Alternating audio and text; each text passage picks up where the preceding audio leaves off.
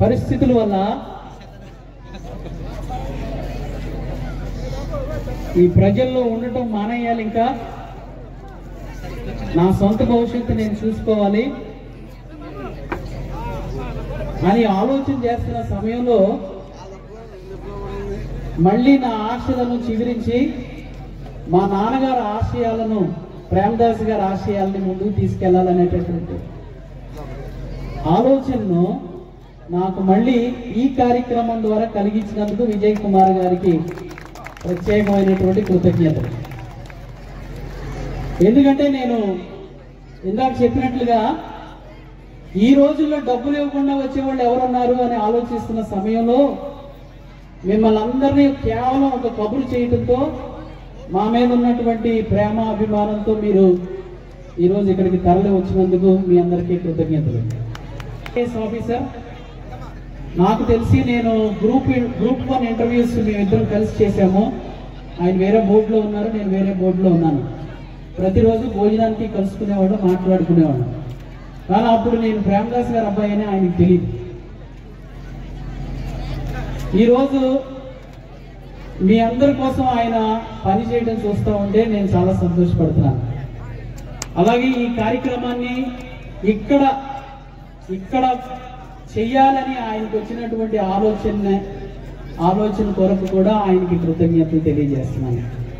ప్రేమదాస్ గారు ఆయన హృదయంలో ఇన్ని సంవత్సరాల తర్వాత కూడా ఒక ఐఏఎస్ ఆఫీసర్ గారి హృదయంలో ప్రేమదాస్ గారు ఉన్నారు అని అంటే నేను చాలా ప్రేమదాస్ గారిని బట్టి ఆయన కొడుకుగా నేను చాలా గర్వపడుతున్నాను. సమయం సమయాన్ని తీసుకొని నేను అయితే ఇప్పుడు మరి వారు మనకి అవకాశం ఇచ్చినందుకు వారి మనస్సులో మంచి అభిప్రాయాలతో పేద ప్రజల ఎడల వారికి ఉన్నటువంటి ఆ యొక్క ఆశయాలతో మన ముందుకు వచ్చి మనందరినీ కూడా మరొక్కసారి కలపటానికి వారు ఇచ్చినటువంటి అవకాశాన్ని బట్టి వారికి నా యొక్క కృతజ్ఞతలు తెలియజేసుకుంటున్నాను. వారు ఎంతో మరి ఐఏఎస్ ఆఫీసర్గా కలెక్టర్ గారుగా తర్వాత మరి డిఆర్డిఏ డైరెక్టర్గా ఇట్లా వివిధ రకాలైనటువంటి పోస్టుల్లో ఆయన ఆయన చేసినప్పుడు పేద ప్రజల యొక్క హృదయాల్ని తెలుసుకొని వారి యొక్క బాధలను తెలుసుకొని మరి రిటైర్ అయిపోగానే వెంటనే పేద ప్రజల కోసం నేను ఏదైనా చేయాలి అని చెప్పి వారి హక్కుల్ని కాపాడటానికి వాళ్ళ బలహీనతతో తోడుగా ఉండటానికి వారికి అండగా ఉండటానికి వారిని ప్రేమిస్తూ వారందరినీ కూడా ఒక ఒక మాట మీద ఒక బాటలో నడిపిస్తూ విజయవంతంగా ముందుకు సాగాలని మరి మనందరం కూడా ఒక శక్తిగా ఒక్కరంగా కాకుండా ఒక శక్తిగా ఉండి మనం కార్యాలను చక్కబెట్టుకోవాలని చెప్పేసి ఆలోచనతో వచ్చారు కాబట్టి వారన్ వారికి మనం కోఆపరేట్ చేయాలి మనకి వారు మనకి సహకారంగా ఉంటారు. అందుకు వారిని అభినందిస్తూ వారిని మరి వారికి నమస్కారాలు తెలియజేసుకుంటూ మీ అందరి తరఫున కూడా మరొకసారి వారిని అభినందిస్తూ ముగిస్తున్నాను. థ్యాంక్ యూ విద్యనివ్వాలని ఈ పేదలకి ఒక అవగాహన ఇవ్వాలని ఈ పేదల్లో ఒక చైతన్యం తీసుకురావాలని సమాజంలో ఉన్నటువంటి రుగ్మతలను రూపుమాపి చెడు అలవాట్లను తీసివేసి వారందరూ కూడా ఒక మానవత్వంతో మనుషుల్ని సమానంగా చూసే స్థితిలోకి తీసుకుని వెళ్ళాలని ఒక్కొక్కరు ఒక్కొక్క విధంగా శ్రమించారు కష్టపడ్డారు తమ యొక్క జీవితాలను అంకితం చేశారు. ఈరోజు మహాత్మా జ్యోతిరావు పూలే గాని డాక్టర్ బిఆర్ అంబేద్కర్ గాని పెరియార్ గాని ఈ విధంగా ఈ ఎస్సీ ఎస్టీ ఓబీసీ మైనారిటీ ఇతర వర్గాలైనటువంటి పేదలకు వారు పడుతున్నటువంటి కష్టాలకు విముక్తి కలగడానికి వారి వారి సమయాలలో వారు చేసినటువంటి పోరాటాలు వారు తీసుకున్నటువంటి శ్రమ చేసినటువంటి కష్టం ఈరోజు మనందరినీ కూడా ఇక్కడ నిలబెట్టి మాట్లాడుకోగలిగేటువంటి ఒక అవకాశాన్ని మనకు తీసుకుని వచ్చింది. ఇలా మన దేశంలో ఈ రకమైనటువంటి ఒక సాంఘిక రాజకీయ ఆర్థిక సమానత్వం సాధించే దిశగా వీరందరూ కూడా ఎంతో స్ఫూర్తిని మన జాతులకు ఇస్తూ ఉంటే మన పేదవారికి ఇస్తూ ఉంటే ఈ పేద ప్రజలకు ఇస్తూ ఉంటే ప్రపంచవ్యాప్తంగా కూడా ఈ బానిసత్వం నిర్మూలించడం కోసం ప్రపంచంలో ఉన్నటువంటి బానిసత్వం పోయి సహజ సమానత్వం సమానతత్వం రావాలనేటువంటి ఆలోచనలతో చేసినటువంటి వారు అబ్రహాం లింకన్ గాని మార్టిన్ లూథర్ కింగ్ జూనియర్ కానీ ఒక బానిసత్వాన్ని రూపుమాపటానికి తెచ్చినటువంటి చట్టాలు.